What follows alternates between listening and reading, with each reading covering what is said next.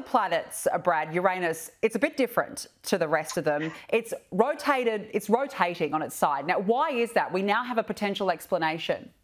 Yeah, look, Uranus has always been this weird planet because he said it's rotating on its side and it's going backwards. So it's kind of going the opposite angle all the other planets do. Now, there's been a lot of ideas that have been put forth, but none of them have been that satisfactory because ultimately, uh, the idea of either maybe Uranus got smacked, collided in by a, a dwarf planet or a moon, doesn't explain why it's still similar in every other way to Neptune. So Neptune and Uranus are almost identical, except the way the planets move. Now, a new model has shown that maybe it's because of actually moons drifting away. So we know moons drifting away is very common for planets. Our moon is moving away about four centimeters per year, and that slightly changes the way the planet moves. It's slowing down our rotation. Uh, Jupiter does this, so does Saturn. And they showed that even a somewhat, you know, smaller moon, something about a third the size of our moon, drifting away, would kind of yank a little bit on Uranus, causing it to flip over and therefore spin on its side. And this is quite an important thing because we know this happens we're seeing it kind of happening in Jupiter. We've measured it happening in our moon. And it also would solve the problems of other things that would be missing if a giant collision happened. So it could be a great discovery into a fairly common process, and that is moons moving around a planet and drifting away. Well, there you go. A fascinating explanation, and at least we know now why. Uh, Brad, a space weather forecasting centre has been inaugurated in Adelaide to help Australia's space industry prepare for space weather events. So, what will the centre do?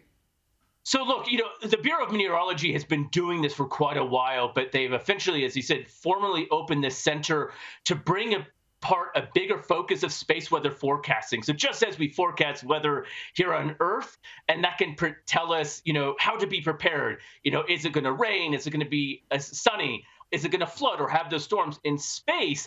This is about saying when these solar storms erupt, and this happens quite often on the sun, is it going to hit the Earth? Is it going to affect infrastructure on the ground in Australia?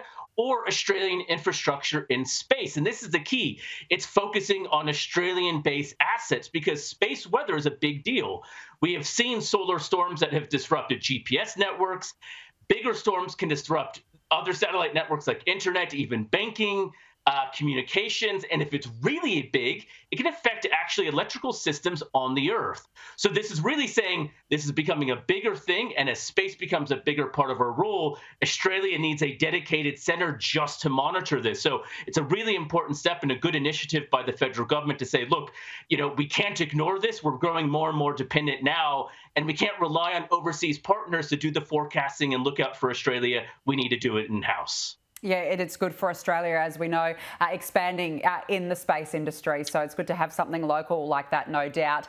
Now, Brad, the SpaceX Crew 5 mission launched early Thursday morning. What's the aim of the mission?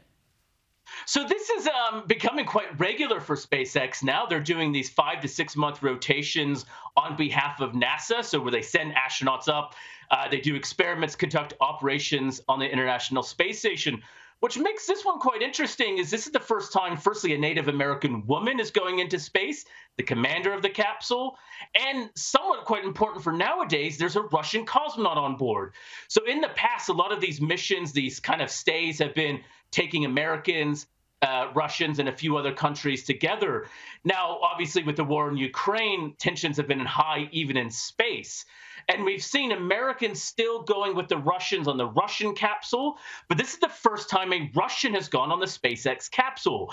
And so, even with all the tensions on board, they're still finding ways of cooperating in space and advancing their cooperation in space. And so, this both um, puts forth uh, the research and science interests of not just the US, but Japan with that Japanese astronaut and Russia on board. So it's as much a good sign for science as it is international peace and diplomacy.